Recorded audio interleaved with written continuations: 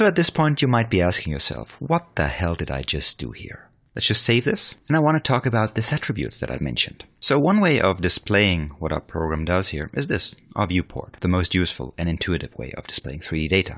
However, there's also a tab up here called Geometry Spreadsheet. And when I highlight this and highlight a given node, I can see the data that we're generating using this program here. And in our case, we are generating a bunch of points, and they only have their position in x, y, and z. And by a bunch of points, I mean many. But also, we are generating primitives. And also, those are quite a lot. And primitives in our case are those individual triangles, those polygons here.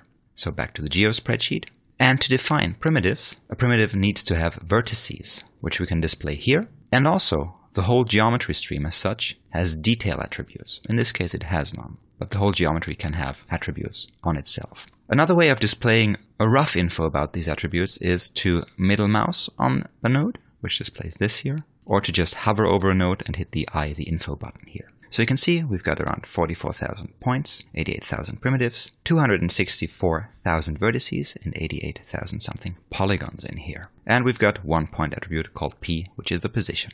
So this is Houdini's help file to illustrate a bit further what we're talking about here. When we're working with geometry data, this is the data we're typically working with. And this data stream can store individual values in different places. So it can store values on the detail, which is a single value per attribute for the whole data stream. Then it can have primitives and primitive attributes, and those primitives onto which we store those primitive attributes typically are something like polygons, polylines, or NURBS. And those primitives are typically defined by assigning vertices to a primitive, which are these purple triangles here. And those vertices, in this case, define which points make up a given polygon. And finally, we have those points, which are positions in space, and they can also store data on themselves. And Houdini having points and vertices is something that can be confusing when you're coming from other software tools, but it's an important distinguishing, but it's important to understand what's the difference between those two. So a vertex in this case is a data structure that assigns a point to the corner of a polygon here. An analogy would be this. This triangular solar sail here would be our polygon, and those pillars here, at least the top of those pillars here, would be the points in space. Those holes, or those strings, that attach the sail to those pillars here are the vertices. So one pillar can have multiple sails attached to it. For example, it could have another sail attached on this side. And that's exactly the same as points and vertices work in Houdini. So a single point can be used to specify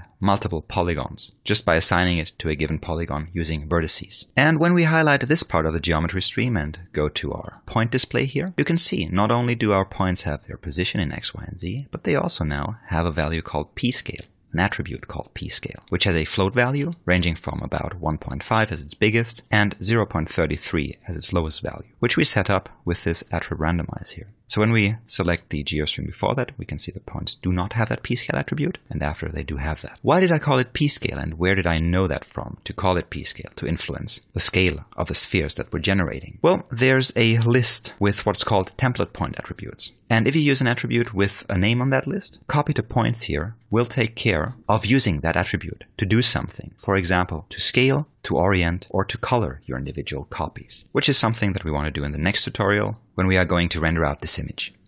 If you guys like what we're doing and want to support us, you might want to head over to our Patreon, and we'd like to thank all of our patrons, especially Refik Anadol, Chris Hebert, Important Looking Pirates, Encore VFX, Patrick Fillion, and Gearbox Studio Quebec. Thanks so much, guys.